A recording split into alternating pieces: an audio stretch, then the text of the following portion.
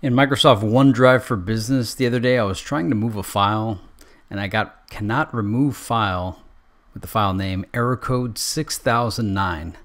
Now what I did was I just rebooted my computer and after that I was able to delete the file or move it from one folder to another which I was receiving that same error when I was trying to move files. So I just rebooted to resolve. I'm guessing the file was locked somewhere. Has anyone else received this error code and if so, what did you do to resolve so that you could either delete or move the file? Please put in the comments below. Thank you.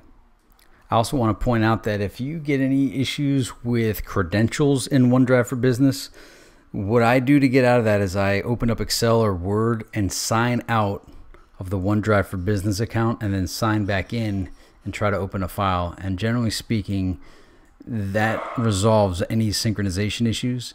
The key is to provoke logging in.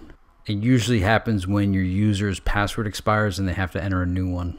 Clearing the credential manager doesn't always work, but sometimes does.